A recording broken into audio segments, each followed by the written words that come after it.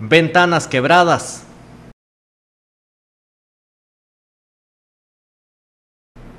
todo desordenado.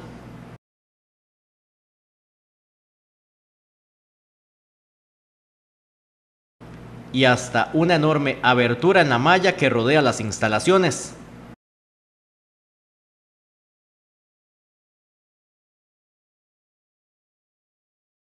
Así dejaron los delincuentes la casa de visita periódica ubicada en Lomas de Cocorí en Pérez Celedón equipo médico y hasta una refrigeradora fue parte de lo que se llevaron.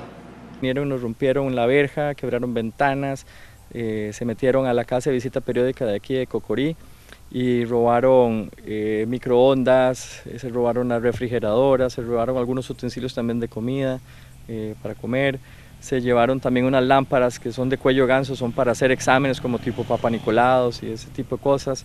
Internamente pues este, desordenaron todo lo que son eh, los expedientes, registraron todas las gavetas, rompieron partes internas como algunos eh, muebles, también las vitrinas de, digamos, de vidrio las rompieron. Eh, realmente no encontramos cuál es la, pues el propósito porque realmente pues lo único valioso era el microondas y la, y la, refrigeradora, pero realmente los, volver otra vez a, colocar este puesto de visita para que sea apto, pues sí tiene un costo muy importante. El robo de este jueves se une a otros que se registraron en el mismo puesto durante los últimos meses. Y más o menos en, el último, en los últimos 6-7 meses ya nos han robado dos, o tres veces. Es muy frecuente aquí en este barrio de Cocorí que las personas pues, eh, que son creemos que son de las mismas personas de aquí, según he, escuchado algunos comentarios de los, de los, de los vecinos, este, eh, de no cuiden las, las instalaciones. Estas instalaciones pues son de la caja, son instalaciones que están en buen estado. Tratamos de mantenerlas, pero para nosotros es difícil estar cada tres, cada cuatro meses estar comprando el equipo, ¿verdad? muy, eh, que es, y no deja de ser costoso.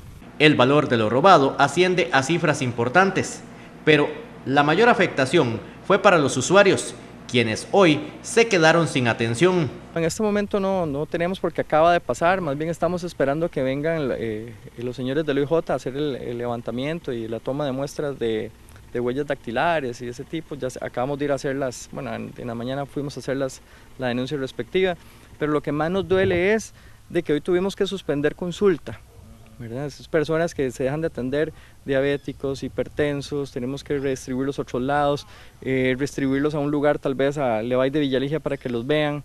Eh, es un poco complejo porque hay gente que tal vez le cuesta caminar, son mujeres embarazadas, es, complicado, también la entrega de medicamentos, eso también afecta.